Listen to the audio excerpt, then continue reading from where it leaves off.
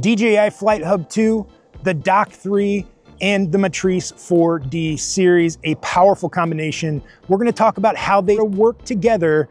Don't go anywhere.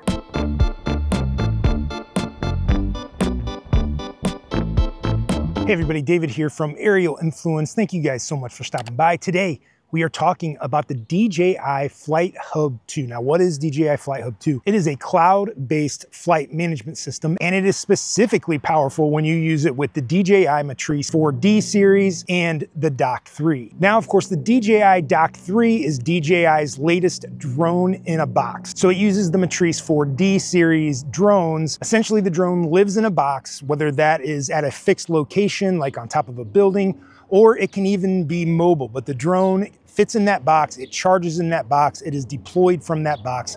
It's a really impressive system. And the way to operate that system is with DJI FlightHub 2. Now we should start out by saying that DJI says that this system is completely secure. They use ASW servers in the United States, so your information is not being stored in another country where you don't want it to be. The idea behind FlightHub 2 is essentially you've got a virtual cockpit. You've got a heads up display. You can open the box and launch the drone using FlightHub 2. And of course, the drone is IP55 rated and the box is IP56 rated. So these can sit outside and just live there. Or like I said, they are actually mobile. The Dock 3 is mobile. So you can put it on the back of a truck or something else and you can move it. Now the virtual cockpit is exactly kind of what it sounds like. You're gonna be able to see all the drone information you'll be able to see the same information that you would be able to see on a regular remote. You can launch the drone, you can land the drone, you can do precision flight planning, you can live stream and send that stream to all sorts of different people. They can watch it on their phone or their iPad or their computer. And you can hook up multiple drones. You could have four drones up in the air and you could be monitoring all four of those drones. Now, obviously, if you're a Part 107 pilot, you have to keep the drone within your visual line of sight. So you have to be there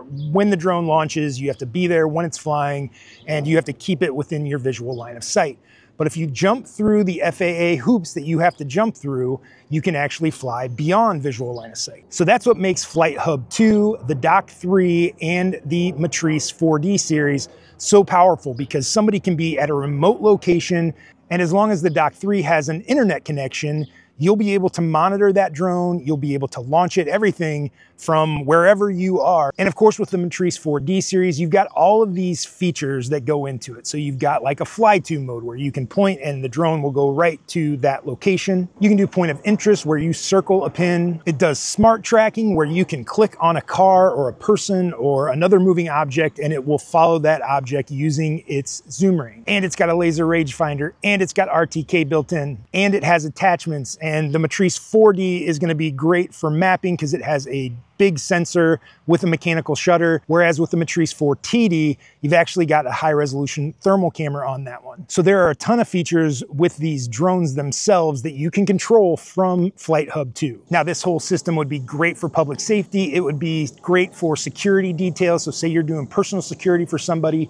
you could use FlightHub 2 to set up routine routes where the drone every night at a certain time goes up and does its route and can alert you when it sees a person or something else out of the ordinary. This is literally the next step in the drone industry, the drone in the box. Everybody's looking for it. You need something like FlightHub 2, which is a great program, but you need it to be able to operate the dock system. Now, if you want more information on the Matrice 4D series, the Dock 3, or FlightHub 2, go check out some of our other videos. We're making a whole bunch of them, and hopefully we answer your questions there. But if we didn't, make sure you reach out to us. You see the phone number, you see the email address on the screen, and it is in the description below.